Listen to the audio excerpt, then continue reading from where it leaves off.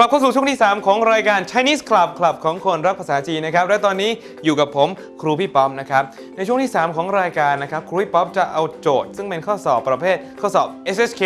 นะครับหรือไม่ก็ข้อสอบ PAT นะครับ ซึ่งใช้ในการสอบเข้ามหาวิทยาลัยมาติวกันนะครับลองตั้งใจดูนะครับดูเทคนิคนะฮะแล้วจะทราบว่าความจริงและการทำข้อสอบภาษาจีนนั้นไม่ยากเลยนะครับเราลองมาดูข้อที่ 1 กันนะครับข้อที่1นะครับเรามาลองดูโจทย์กันนะครับว่า choice พวกนี้นะครับคืออะไรนะครับคำที่1นะครับคำว่าอะไรครับโยจีนะครับโยจีแปลว่าอะไรครับ โดยเฉพาะอย่างยิ่งนะครับเทอเปียแปลว่าอะไรครับ ก็โดยเฉพาะอย่างยิ่งนะฮะตัวมอตัวมอแปลว่าอะไรครับ แปลว่าขนาดนั้นขนาดนั้นนะครับ สมมติถ้าบอกว่ามีเพื่อนคนหนึ่งนะครับ ชอบผู้ชายคนนั้นมากนะครับเสร็จแล้วเราก็ถามไอ้นั่นมันดียังไงวะนะครับ ถ้าโยตัวหอนะครับผู้หญิงตอบกลับมาว่าถ้าโยตัวมหอเขาดีสักขนาดนั้นนะครับหรือผมบอกว่าวัวตัวมหอวัวตัวนเล่นะครับผมเหนื่อยสักขนาดนี้ ผมดีสักขนาดนี้นะครับตัวมีความหมายใกล้เคียงกับคำว่าจมนะครับเข้าใจไหมฮะคำว่าตัวมตัวมส่วนมากใช้ในการพูด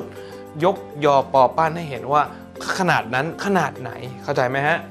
ตัวมมักจะตามด้วย adjective เสมอ ตัวเมาเพราะนั้นนะครับตามด้วย adjective นี่เป็น adjective หรือเปล่า ไม่ใช่นะครับ มีเตอะยี่อี้เพราะนั้นข้อนี้ตัดทิ้งไปเลย ถูกไหมฮะ ต่อไปนะครับซิ่งคุยซิ่งคุยซิ่งคุยแปลว่าอะไรครับซิ่งคุยหมายถึง โชคดีนะที่ โชคดีนะที่ สมมติว่าถ้าเกิดว่า ผมบอกว่าอุ้ยโชคดีนะที่ผมเป็นคนไทย เพราะฉะนั้นผมถึงไม่ต้องต่อแถวเวลาที่ผมกลับมาจากเมืองนอก ผมก็เดินเข้าประเทศเลยนะครับ เพราะฉะนั้น幸亏我是泰国人要不然我还要等好久เข้าใจไหมครับ幸亏มักจะใช้คู่กับคำว่า要不然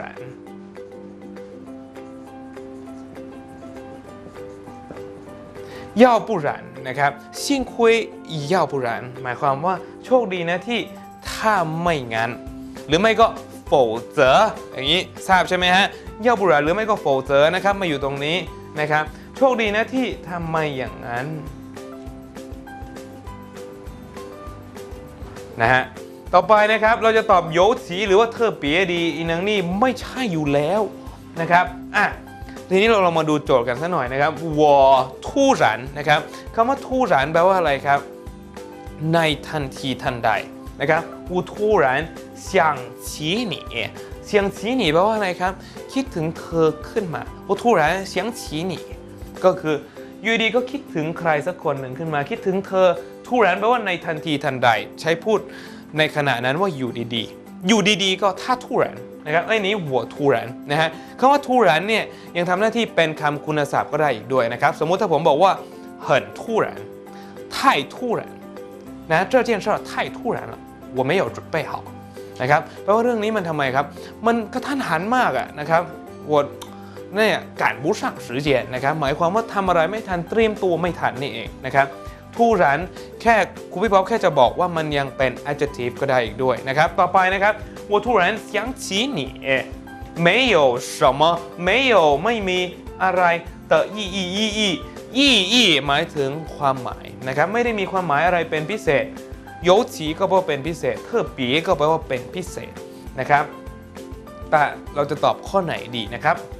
没有什么ตรงนี้จะต้องควรเป็นอะไรครับ นี่คือนามนะฮะ เพราะนั้นตรงนี้จะต้องเป็นคำคุณศัพท์ ซึ่งมาขยายแน่นอน หมายความว่าไม่ได้มีความหมายอะไรเป็นพิเศษ เข้าใจนะครับ เพราะนั้นเราจะต้องตอบเทอปีครับ เพราะว่าคำว่าเทอปีนะครับ ยังทำหน้าที่เป็น adjective ได้อีกด้วย แปลว่าพิเศษนะแต่ถ้าเกิดว่าทำเป็น adverb เมื่อไหร่จะแปลว่าโดยเฉพาะ เพราะนั้นนะครับ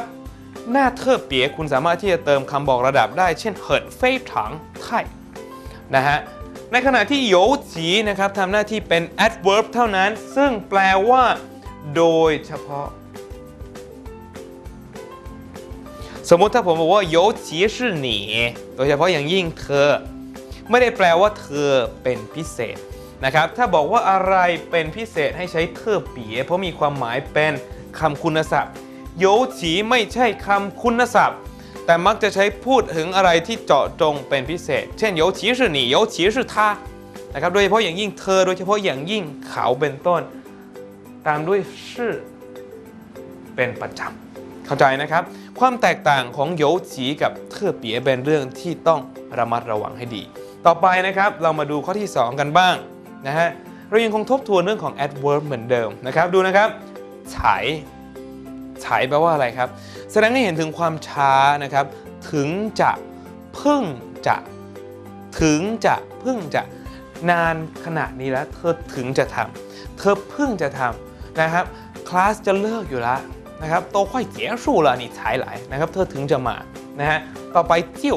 สองคำนี้นี่เป็นคำตรงกันข้ามเรียกว่าคู่ฟัดคู่เวียง คู่กัดคู่แค้นกันคำว่าจิ้วนี่หมายถึงก็นะฮะเจอเธอแป๊บเดียวก็อย่างนั้น แค่แป๊บเดียวก็อย่างนี้นะครับหรือพอเขามาเธอก็ไปแสดงให้เห็นว่ามันมันเร็วมากเลยนะครับจิ้วแสดงให้เห็นถึงความเร็วฉายแสดงให้เห็นถึงความช้านะครับต่อไปนะครับโตหมายถึงทั้งหมด นอกจากทั้งหมดยังแสดงให้เห็นถ้าเกิดว่าวางไว้ข้างหน้าเวลาหรือปริมาณ สมมุติถ้าผมบอกว่าโตเลี้ยวเตียนละหมายความว่าไง ตั้ง 6 โมงแล้ว เข้าใจไหมครับ หรือตั้ง 5-6 คนแล้วอะไรอย่างนี้เป็นต้นนะครับ เราจะใช้คำว่าโตจุดจุดจุดแสดงให้เห็นว่าเวลาผ่านมานานแล้ว หรือปริมาณผ่านมานานแล้ว ต่อไปนะครับคำว่ากังสายกังสายแปลว่า เมื่อกี้ มักจะใช้ขึ้นต้นประโยคนะครับ กังสายใช้ขึ้นต้นประโยคนะเมื่อกี้นี่ทำอะไรมากังสายหัวเทียนท่าหรอนะครับเมื่อกี้ผมเจอเขาแล้วนะครับ ทีนี้นะครับเรามาดูตรงนี้บ้างหัวจือเจียนท่าอีเมียนเจียนแปลว่าพบ หรือเจอหรือเห็นนะครับ ฉันเพียงแค่เจอเขาแค่ ครั้งเดียวยีเมียนยีเมียนในที่นี้เป็นลักษณะนามนะครับจือเจียนยีเมียนแค่เจอแค่ครั้งเดียวเท่านั้นเองนะพบหน้าครั้งเดียว ก็ชอบแล้ว เพราะฉะนั้นนะครับมันเร็วไหมฮะมันเร็วมากการทำอะไรปุ๊บปั๊บปุ๊บปั๊บแค่เขามาเธอก็ไป แค่ครูพี่ป๊อปพูดครั้งเดียวหนีเจี้ยวหมิงไปละเธอก็เข้าใจ เพราะฉะนั้นใช้เจิ้วถูกต้องเลยนะครับ ทำอะไรเร็วๆอย่างนี้เราใช้คำว่าจิ้ว ถ้าเกิดว่าช้าๆคำว่าถึงจะจึงจะเราถึงใช้คำว่าใช้นะครับ เช่น สมมติผมบอกว่า ครูพี่ป๊อปพูดตั้ง 5-6 รอบหนูใช้เข้าใจหนูถึงจะเข้าใจ ครูพี่ป๊อปพูดแค่รอบเดียวหนูจิ้วเข้าใจหนูก็เข้าใจละเพราะฉะนั้นนะครับในเมื่อเข้าใจแล้ว วันนี้นะครับครูพี่ป๊อปก็ขอขอบคุณมากนะครับ ข้อมูลโจทย์ดีๆนะครับจากสถาบันภาษาจีน Chinese Pop Up ถ้าหากว่าน้องๆนะครับมีคำถามอะไร ส่งมาถามครูพี่ป๊อปได้เลยนะครับ ที่ Facebook นะครับ www.facebook.com/chinesepop-up สำหรับวันนี้นะครับช่วงเวลาในช่วงที่ 3 ของเราก็ได้หมดลงแล้วนะครับ ถ้าอย่างนั้นนะครับเราพบกับครูพี่ป๊อปได้ต่อไปในช่วงทีสี่ 4 พักกันสักครู่ครับ